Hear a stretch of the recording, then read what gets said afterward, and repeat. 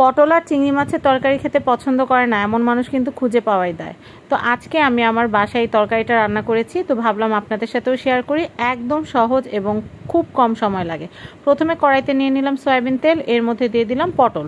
পটলটা যেটা করেছি উপরে নাইফ দিয়ে একটুখানি কুড়িয়ে নিয়েছি মানে খোসাটা ওইভাবে ছিলে ফালাই নেই জাস্ট কুড়িয়ে নিয়েছি, এরপরে জাস্ট একটুখানি কেচে নিয়েছি।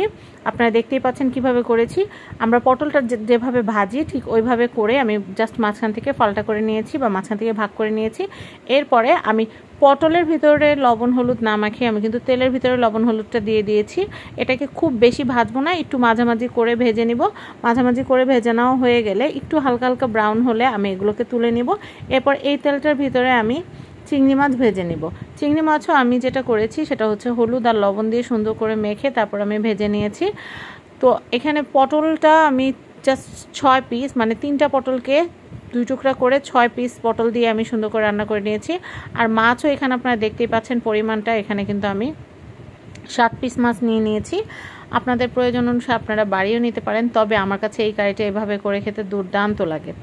তো এরপরে যেটা করব সেটা হচ্ছে মাছটা ভালো মতো ভাজা হয়ে গেলে আমি আলু দিয়ে দিব। আমাদের আলুটা এই মাছ ভাজার সময় একটু ভাজা ভাজা হলে এটা স্বাদটা দারুণ লাগবে। এর মধ্যে আমি অন্যান্য যা কিছু লাগে সব কিছু আমি যোগাড়যন্ত্র করে নিয়েছি। রান্না করতে যাবতীয় যা লাগবে যেমন পেঁয়াজ কুচি ধনে পাতা কুচি তারপর হচ্ছে আরও আনুষঙ্গিক, হলুদ মরিচ সব কিছু আমি হাতের কাছে নিয়ে নিয়েছি। আমি আলাদা একটা, আপনারা চাইলে এই তেলটা তো রান্না করতে পারেন। তো আমি যেটা করেছি, আলাদা একটা কড়াইয়ের ভিতরে, ওই ভাজা তেলটা আমি অন্য একটা রেসিপিতে ব্যবহার করেছি, এটা পরের এপিসোডে দেখাবো। আর এই যে এখানে আমি কড়াইতে আলাদা করে তেল দিয়ে নিয়েছি, আর এখানে নিয়ে নিচ্ছি পেঁয়াজ। পেঁয়াজটা আমি সুন্দর করে কুচি করে নিয়েছিলাম। এখন আমি এটাকে পেঁয়াজটা ভাজা হওয়ার জন্য অপেক্ষা করব, আর এর মধ্যে দিয়ে দিব কাঁচা লঙ্কা বা হচ্ছে কাঁচামরিচ। কাঁচামরিচটা দিয়ে দেওয়ার পর আমি সুন্দর করে খুন্তি দিয়ে একটু নেড়ে নিব আর এটা যেন খুব সুন্দর মতো রান্না হয়, এর জন্য আমি দিয়ে দিব এক চিমটি লবণ। এখানে কিন্তু লবণ, তারপর হলুদ, মরিচ সব কিছুই কিন্তু আমি দিব। কি কি দিব সব কিছু আপনারা দেখতে পারবেন। আমি সবগুলো মশলার ডিটেল আমি আপনাদেরকে এখনই বলে দিচ্ছি। তো এখানে স্বাদ মতো লবণ দিয়ে দিব, তরকারি পরিমাপের উপর ডিপেন্ড করে। তো লবণ দিয়ে দেওয়ার পরে দিয়ে দিব হচ্ছে হলুদ হলুদ গুঁড়া। তারপর দিব হচ্ছে মরিচের গুঁড়া, তারপর দিব হচ্ছে ধনের গুঁড়া, তারপর হচ্ছে দিব জিরার গুঁড়া। মানে এই উপকরণগুলো কিন্তু কম বেশি সব রান্নাতেই লাগে। আর আমি এই উপকরণগুলো সব রান্নাতেই কম বেশি ব্যবহার করি। এরপর আমি টমেটো দুটো কিউব দিয়ে দিলাম।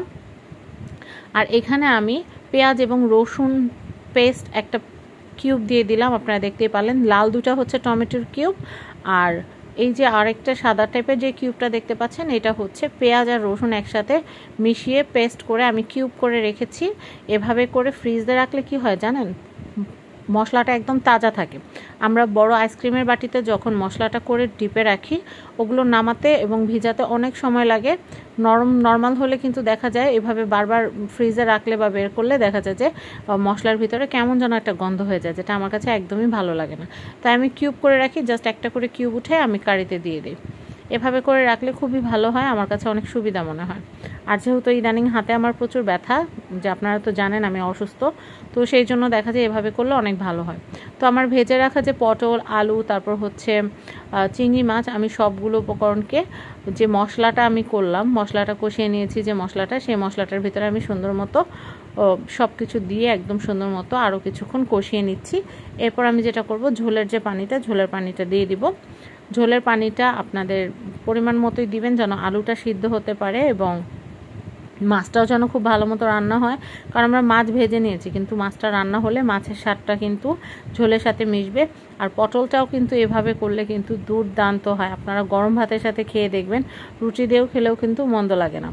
তো এরপর আমি যেটা করব সেটা হচ্ছে ধনে পাতা যে কুচিটা রেখেছি, আমি ধনে পাতা কুচিটা একদম নামানোর সময় দিব না, আমি দিব এই রান্না যখন হবে এই সময়। এই সময় ধনে পাতা কুচিটা দিলে কি হয় জানেন? ধনে পাতাটা নরম হয়ে ঝোলের সাথে মিশে খুব দারুণ একটা ফ্লেভার তৈরি হয়। আমার কাছে এভাবে ভীষণ ভালো লাগে। তাই আমি চিন্তা করলাম, আমি ঠিক যেটা যেভাবে করি, ঠিক সেটা সেভাবে করে আপনাদেরকে দেখাই। আপনারা বাসায় ট্রাই করে দেখতে পারেন। ট্রাস্ট মি খুবই মজার একটা রেসিপি ভাত দিয়ে বা পোলাও দিয়ে খেতে তো দুর্দান্ত লাগে। তো আমার বাসায় আজকে পোলাও রান্না করেছি। আমি ভাবলাম যে চিংড়ি পটলের এই তরকারিটা যদি পোলাও দিয়ে একটু খাওয়া যায়, তাহলে কিন্তু দুর্দান্ত লাগবে। গরম ভাতের সাথেও কিন্তু কম যায় না। তো সেহরিতে খাওয়ার জন্য আমার এই রেসিপিটা বানিয়েছি। আশা করি আপনাদের ভালো লেগেছে। ভালো লাগলে শেয়ার করে দিবেন।